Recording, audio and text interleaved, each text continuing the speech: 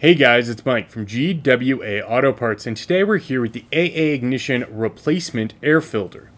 This engine air filter is specifically for the 2011 to 2016 Ford Super Duty truck with the 6.7 liter diesel engine.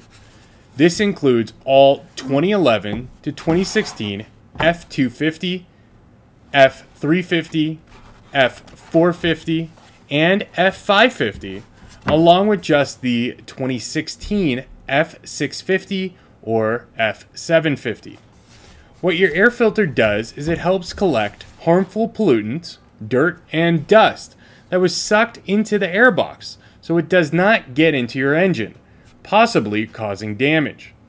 And while over time these air filters are known to get dirty, if you do not replace them often, your engine may run rough or you will see a noticeable drop in fuel economy.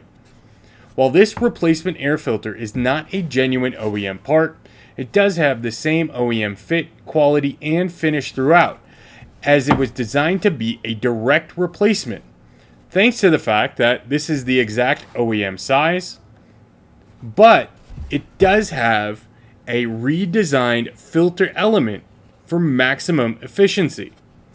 Installation of a replacement air filter in your 2011 to 2016 Super Duty is very easy.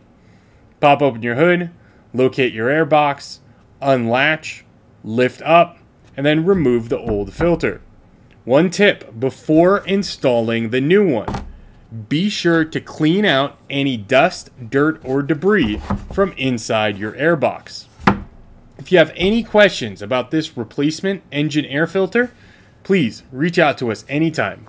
We're glad to help.